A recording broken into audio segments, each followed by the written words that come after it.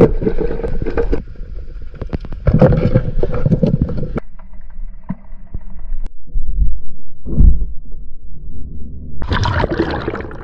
うもこんにちはむっちんです。それでは今日も魚つきを楽しんでいきましょう。今回の魚つきは1時間ぐらいしか潜れなかったんですけどこの日の海は魚影も濃くて狙っていた魚もつくことができたので今回はとっても楽しい魚つきになりました。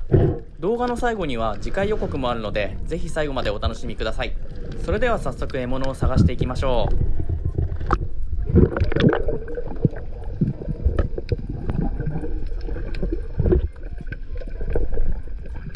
すると早速左の方から両型の石鯛が現れました。目の前に来てくれそうなルートで泳いでいるのでこのままテトラに隠れて待ってみましょう。あれ来ないですね。見失ってしまいました。でももう少し待ってみましょうか。すると目の前から石鯛ではない何かが近づいてきました。よしこれを狙っていきましょう。しっかり狙ってヒット。よし当たりました。おお暴れますね。今のシーンをもう一度見てみましょう。思っていたよりこっちに突っ込んできてくれましたね。そしてちょうどよく横を向いてくれたのでうまくつくことができました。あとは握れてしまわないように引き寄せるだけ。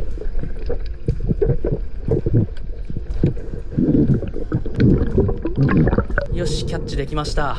石台を待っていたら鈴木が来てくれましたね。これはラッキーでした。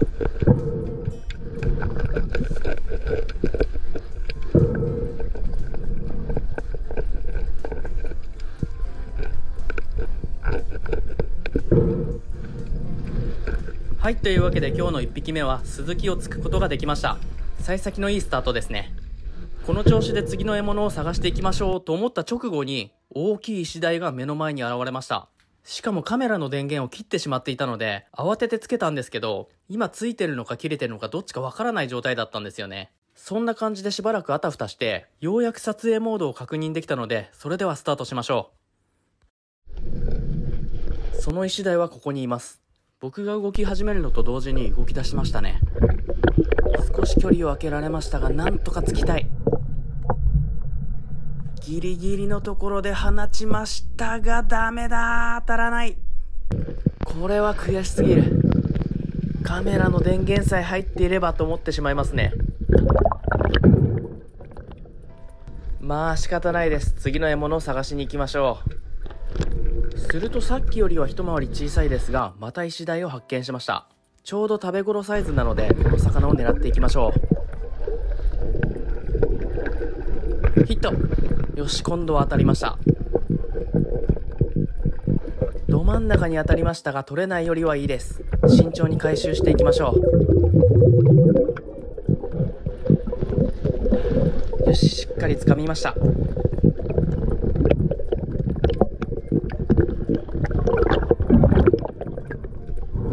はいというわけで2匹目は石鯛をゲットすることができました。ちょうど食べ頃サイズですね。今日は序盤からいい感じにつけているのでこの調子で次の獲物も探していきましょう。水面から探しているとテトラの下に何か大きな魚が入っていたので覗いてみましょう。するとですね今日は絶対に撮りたいと思っていたキジハタを発見しました。しかも結構大きいです。今日のこの調子ならいけるでしょうと思ったんですが外れ。このパターンならいけるだろうと思ったんですがかなり焦って全然違うところに打ってましたね。悔しすぎる。このチャンネルを見てくれてる人ならわかると思うんですけど僕はここぞという場面で焦りすぎちゃう時があるんですよね。今のショットで反省したので次のチャンスではしっかり集中していきたいと思います。そしてこの後またキジハタを発見することができました。指さした方向にいますね。さあ今度はつけるでしょうか。ここにいますね。後ろの岩が邪魔なので横に移動して狙ってみましょう。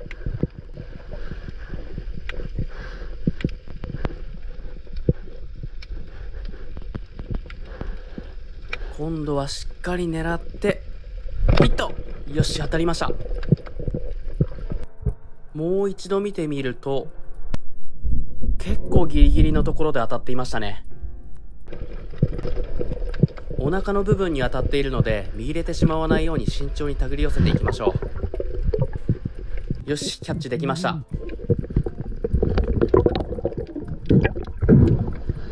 はいというわけで少し小さめだったんですけど今年初めてのキジハタをゲットすることができました。これは嬉しいですね。久しぶりのキジハタに喜んでいると今度は水面からあの魚を発見しました。早速映像を見ていきましょ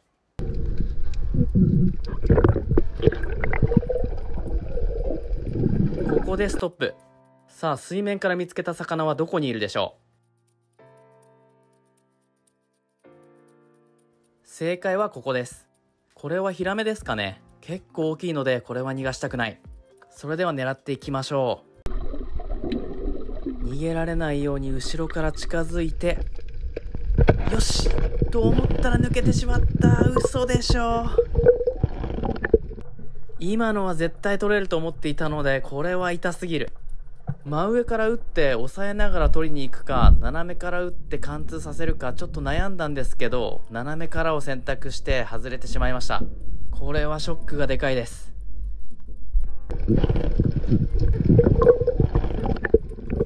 やってしまいましたね。まだ近くにいると思ってしばらく探してみたんですが見つけることはできませんでした。でも今日はいい感じにつけているのでこの流れを止めたくないですね。ここからは時間もないのでしっかり集中して狙っていきたいと思います。さあそれでは気持ちを切り替えて集中していきましょう。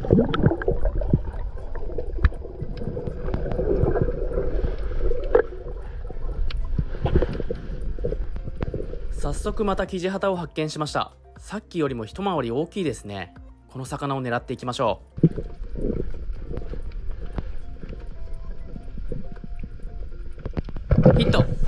ました。にらめっこからなんとかつくことができましたね。またお腹の辺りに当たっているので切れてしまわないように慎重に手繰り寄せていきましょ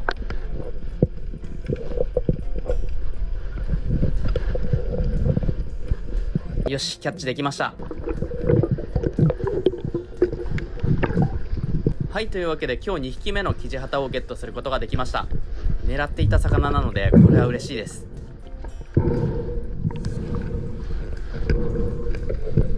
これで今日は4匹取れたのでもう今日は十分かなとも思ったんですけど調子がいいうちにあと2匹ぐらい狙っていきたいと思います。それではもう少しだけ頑張ってみましょう。すると早速またキジハタを発見しました。願いが通じたのか連続で発見できましたね。まあでも取って帰るまでが魚つきです。しっかり集中していきましょう。少し見えづらいですがここに隠れています。慎重に近づいていきましょう。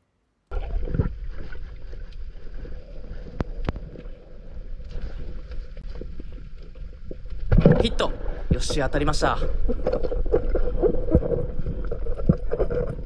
もうこのまま迎えに行っちゃいましょう。しっかり掴んで。よしこれで3匹目のキジハタをゲットです。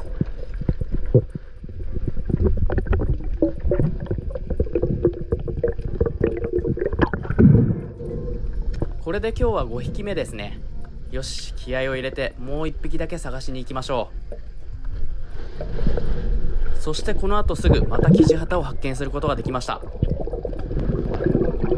またしても見えづらいんですけどキジハタはここにいます。今日見つけた中では一番大きいのでこれは逃がしたくない。それでは狙っていきましょう。ゆっくり近づいてヒット。見えづらいですがまた睨み合いから当てることができました。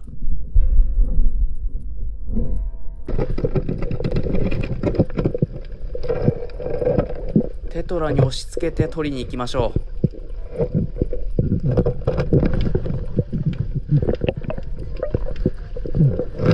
う。よしキャッチできました。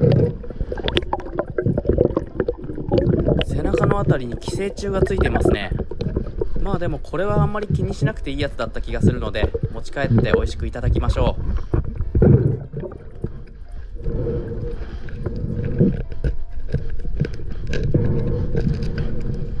はいというわけで今日最後の獲物もキジハタでした。今日はずっとキジハタが取りたいと思っていたので4匹も取ることができて大満足な結果になりました。そして帰り道にですね浅瀬に奇妙なものが落ちていたんですよ。これはイカですね。アオリイカですかね。ちょっとわからないんですけど結構大きいサイズです。生き絶えて間もない感じだったのでまだ食べれるかなと思ったんですけどやっぱりちょっと怖いので持ち帰るのはやめておこうと思います。いつかは森で大きいイカなんかもついてみたいですね。はいというわけで今回は6匹の魚をつくことができました。家に帰ってから奥さんがスズキを使ってこんな感じの料理を作ってくれたんですけどこれがめちゃくちゃ美味しかったですね。味付けをして熱したごま油をぶっかけたみたいです。このネギがまた美味しいんですよ。うん。うまっ。お酢と醤油とオイスターソースを1対1対1で味付けするらしいです。よかったら皆さんもぜひやってみてください。他にもこんな感じで美味しくいただきましたそれでは次回予告です。